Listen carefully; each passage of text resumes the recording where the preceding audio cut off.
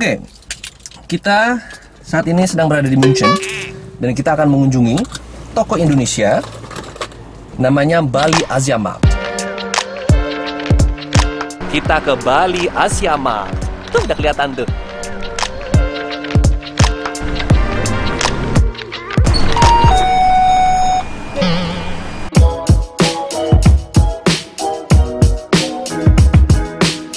Halo semua, saya sekarang bersama Pak Petrus. Pak Petrus adalah pemilik dari Bali Asia Mart. Pak, saya tanya beberapa hal boleh ya Pak ya?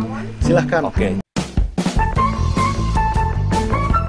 Eh, pertama itu masih belum kepikiran gitu ya. Jadi saya datang ke Jerman dengan niat studi gitu. Jadi setelah selesai studi, saya juga bekerja di satu perusahaan. Lambat tahun gitu ya, kita melihat eh, kebutuhan eh, di kota München ini atau khususnya di Jerman Selatan. Sehingga eh, kita melihat kok nggak ada ya eh, makanan Indonesia gitu. Sedangkan orang-orang Indonesia banyak yang tinggal di sini. Dan kita mulai berpikir ah seandainya ada ya makanan Indonesia. Dan karena kita melihat kebutuhan itu maka eh, ada tantangan.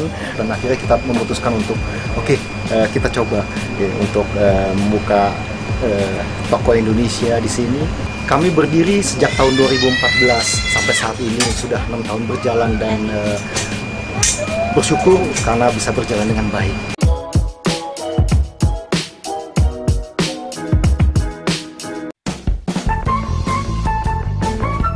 Eh, Pelanggan kita itu eh, orang Indonesia, begitu ya, dan orang Jerman juga.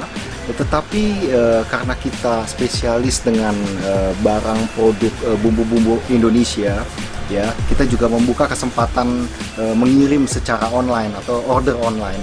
online, online, online, online.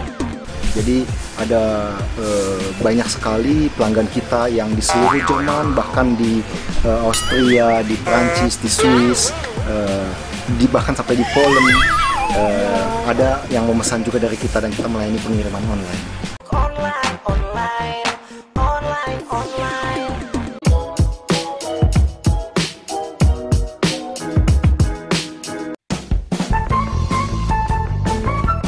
Eh, jadi ada beberapa produk ya memang bukan beberapa tapi hampir semua yang dijual di sini adalah yang orang-orang Indonesia suka. Tetapi ada hal-hal yang laris gitu ya seperti eh, kacang atom gitu ya semua orang kenal eh, teh botol gitu ya dan eh, bermacam-macam snack.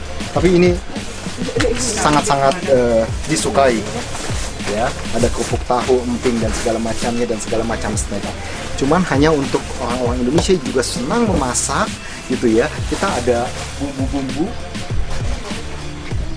Nah ini bumbu-bumbu Indonesia yang eh, bermacam-macam. Yang kita kenal ada rendang ada soto betawi ya. Ada nasi goreng gulai kare opor dan buat orang-orang yang senang masak ini bumbu-bumbu ini laris ya. Dengan berbagai macam merek dan pilihan.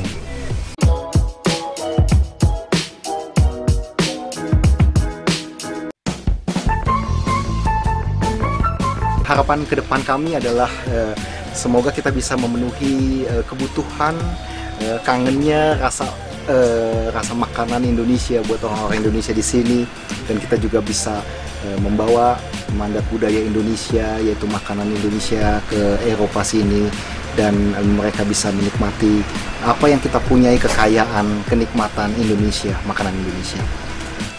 Pak Petrus, terima kasih menginspirasikan untuk cinta dengan produk-produk Indonesia ya Pak ya. Terima kasih Pak. Sama-sama.